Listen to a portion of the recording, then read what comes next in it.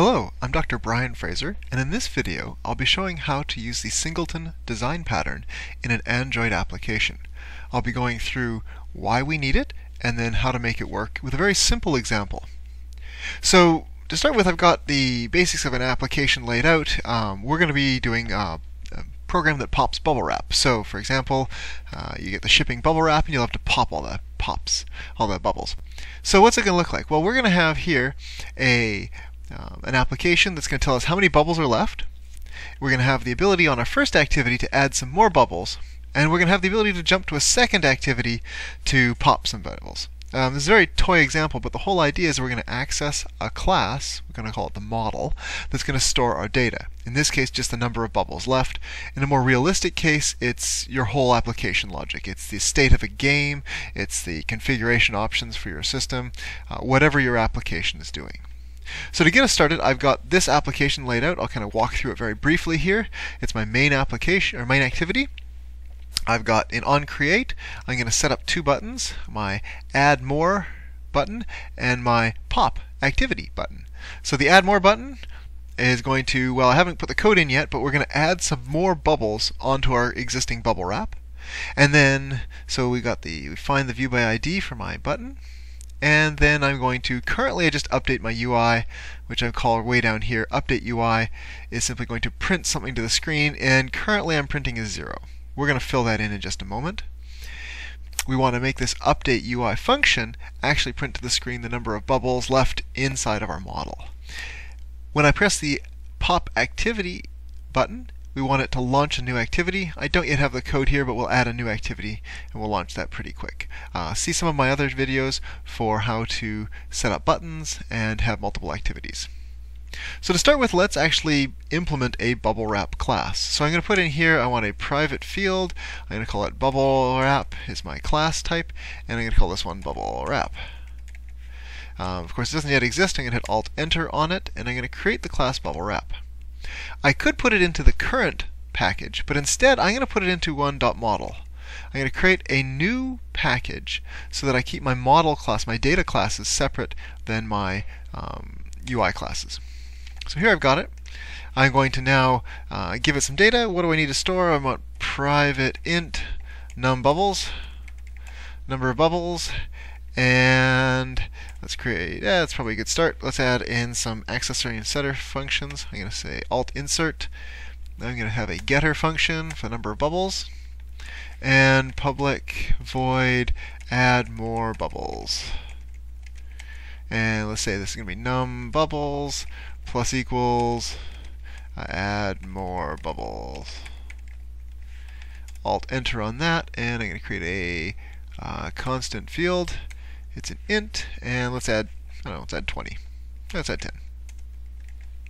Okay, so I can get it, and I can add some more bubbles. So let's go back to my other code, my main activity, and see what I can do. Now I've got this. I need to instantiate one, so I could do it up top. I'm going to do it here just because it's going to fit better into my process later. Bubble wrap equals new bubble wrap. And it's good. Other things I need to do down here when I click on the add more button, on my UI. I want to add more buttons to my bubble wrap, so I can say bubble wrap dot add more bubbles. And then finally down here, instead of printing out zero, I'm going to have it update my screen with bubble wrap dot get num bubbles. And let's drop that down to the next line too. I'm using uh, the string format, and let me just push this in here. String format, and I'm passing in the locale, so it kind of silences a warning, makes it a bit more international and here. Normally I'd pull this string into my uh, uh, a separate XML values file, strings file, but uh, for this example this is fine. Okay, so let me run this application now. Switch back to my editor, or my uh, emulator. And here's my program. I'm going to add some more bubbles, and we can see that I am continuously adding some more bubbles. I can't yet pop those, so that's what I want to do. Now, let's sort of launch the sec- bring the second activity.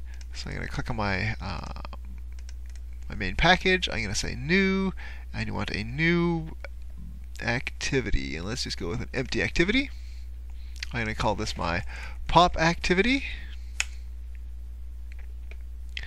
And I'm going to put on this one uh, a bubble, a button, some feedback stuff as well. But rather than me doing all that design right now, I'm going to copy and paste it from an existing version that I have. So I'm going to drop that in. Let's go back to the design just to see what it's going to look like. I'm going to display how many bubbles we've got, and I got a button called pop. When you click pop, it's going to do something. So this is my pop activity. I'm going to go look at my class, my code here, and inside of my pop activity, I'm going to replace this code. Oops. Let's click on the right things. Pop activity. I'm going to overwrite this with some code I've already got. So, um, what do I need to do here? So I've got another instance of, in this activity, I've got a reference to a thing, another bubble wrap object. Inside my onCreate, I instantiate it, and then I'm going to call uh, set up this button, pop button, and I'm going to update my UI. Now, inside of here, we can see I've got, previously I named this differently, so let's actually call this get. I don't yet have a pop bubble function, which I want to call when I click on the pop button, I'm going to pop some bubbles. So let's go inside there. I'm going to create the method. And when I pop a bubble, quite simply, that sounds good, I'm going to say num bubbles minus minus. So there is my, my model. It, trivial at the moment, but it gives us the idea. So I come back to my pop activity. We see that it's going to, on my uh, bubble wrap object, I'm going to be allowed to pop the bubbles. So let's rerun that. I'm going to shift F10, switch back to my emulator.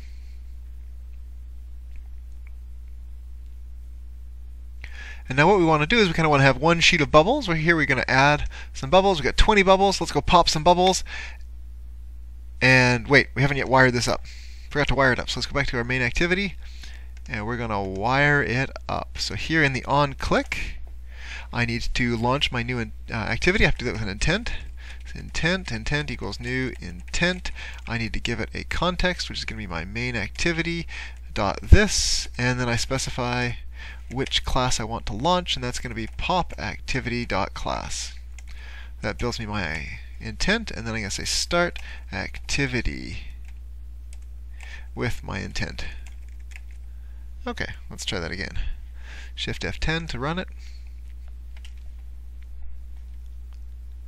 Okay, so I'm going to add some bubbles. We got 20 bubbles. Let's go pop them. We come here, we got no bubbles. And I don't count down. That's not very satisfying. I want to have this with the same number. Now we're at, four, we're at negative 4 bubbles. When I go back, I'd love this to be at uh, negative 4 bubbles. I want to be working on the same thing, but this is still at 20. What's going on is that each activity instantiates its own bubble wrap object. So each activity has its own reference to its own copy of the model, completely separate. And that's not what we want. If we've got a single game that we're trying to play, we of course want to have one instance of the game that is maybe being shown on different activities. Or if we've got one uh, set of data, we want to reference that one set of data. We don't want to have multiple copies of it floating around. So the issue is, of course, that each activity is calling new bubbles, bubble wrap. So I don't want to do that anymore. I want to have some way of getting one instance of this. Now, a common hack would be for my main activity to instantiate it, and then somehow get access to it inside of pop activity. I could I can't just pass it in an intent. I could serialize it and pass it across, but then I end up with a copy of it, which isn't so good either. So I want to hand a reference to it, and there's no good way to hand a reference across. I could make a public static function in my main activity to hand out the reference, but that's then tightly coupling my UI activities. So I don't want to do that either. I want to have some facility inside of my model that allows me to gain an instance, access to an instance of my model in both places. Um, I could make everything static in my model, which would allow me to just access things directly on this class, but then I can only ever have one instance of it, and I'm then kind of stuck in this sort of realm of static. And I want to have as few things static as possible. So what I'm going to do is I'm going to create what's called a singleton. So let's go through the code here. I'm going to uh, add a comment here to my code. This is the uh, normal object code. So this stuff down here at the bottom we see is the normal object code. I'm going to add in here singleton support.